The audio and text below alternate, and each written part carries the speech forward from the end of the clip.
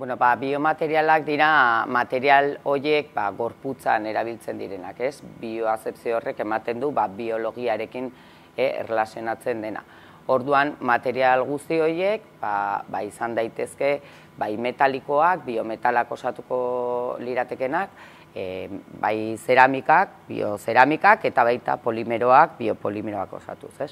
Orduan, hor e, material guztien artean, e, ezaugarri garrantzitsuena izango lirateke ba, bio bateragarriak izan behar direla, ez?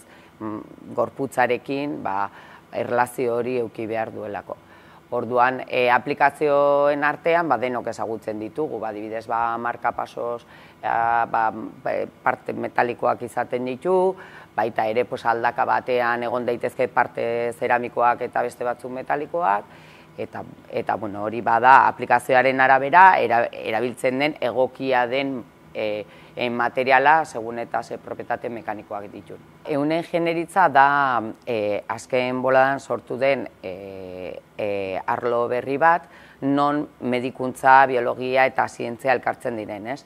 Azkenean izango dira material batzuk e, gorputzan sartuko ditugunak, eta orduan e, nahi duguna da material horiek laguntzea e, birsortze prozesu horretan, ez? Gorputzari lagundu behar diote, ba, eun horiek berregiten e, eta barrez. Orain arte, e, zegoen tendentzia sala, e, adibidez, besoaren apurketan kasuan, e, e, ezurrari eusten, baina ezurrak berak sortzen, bersortzen zuen bere euna, ez, e, osotara, pieza oso bat osatzeko berriro, baina e, orain e, dagoen joera da horreri, material horreri, ba, modifikatu edo zerbait egin, non e, gorputzak berak errekonozitu egiten duen eta mm, bere materiala bezala ere bai e, parte hartzen duen eta orduan pues, e, bersortzen laguntzen duen. Materialak ezberdinak izaten dira implante motaren arabera.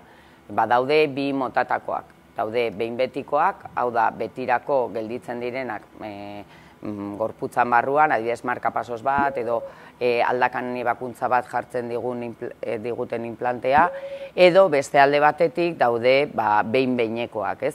Behin behineko jen artean, pues, e, sartu egingo dira e, ba, material horiek zeintzuk e, hasieran betetzen duten, egin behar duten lana, eta gero denborarekin, birsor batzen juten dira eta mm, gorputzak berak konpondu egiten duen ba, ba, da, ez zeukan arazoa. Ez?